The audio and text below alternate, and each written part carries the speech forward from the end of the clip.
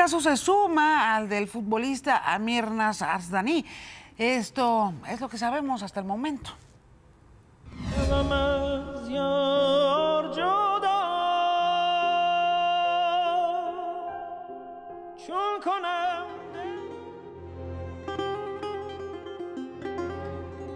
Esta era la vida de Amir Nazar Asadani antes de enfrentar la horca en una posible condena a muerte en Irán. El futbolista de 26 años es acusado de un delito llamado mojarebe u odio contra Dios por su presunta participación en el asesinato de tres agentes de seguridad el pasado 16 de noviembre.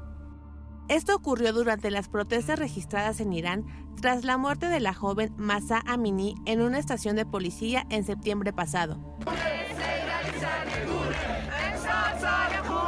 Familiares y organizaciones sociales denuncian que Amir confesó el crimen tras ser víctima de tortura.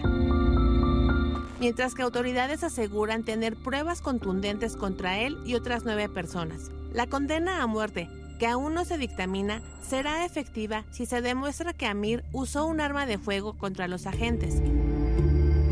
Este caso ha generado indignación en el mundo, desde campañas de recolección de firmas hasta exigencia por la liberación de Amir pronunciadas por equipos de fútbol y jugadores, así como de figuras globales como Shakira, quien pedía que jugadores se pronunciaran sobre el caso durante la final de Qatar. En México, colectivas se han manifestado frente a la Embajada de Irán en la capital.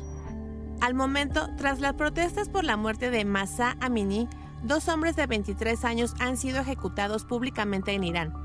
De acuerdo con Amnistía Internacional, junto a Mir Nazar Asadani, hay al menos 20 personas que podrían morir en la horca.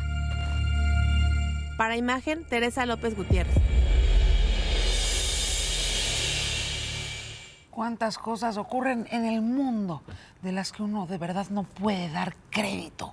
No puede dar crédito que la cerrazón de unos cuantos le pueda costar la vida, le pueda costar la vida a estos jóvenes que lo están haciendo absolutamente lo correcto.